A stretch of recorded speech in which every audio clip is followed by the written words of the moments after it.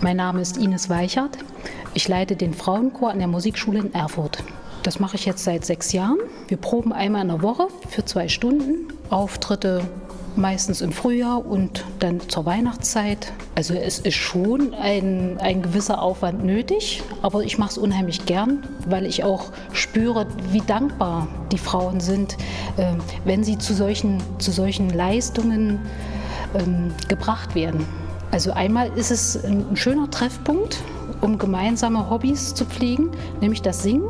Zweitens ist es auch eine, eine Bereicherung, dass man sich auf, auf einer ganz anderen Ebene nochmal herausfordern kann, was man im Beruf vielleicht nicht kann, auf, auf musische Art und Weise sich auszudrücken, dann ist es auch dieses gemeinschaftliche Erlebnis, wenn ich dann zu einem musischen Höhepunkt kommen kann.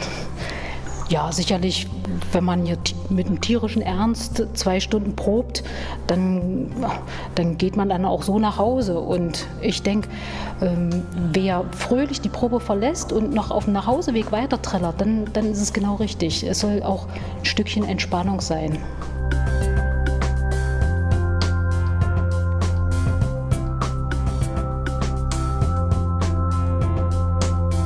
Lernen wir uns kennen Bildungsstadt Erfurt.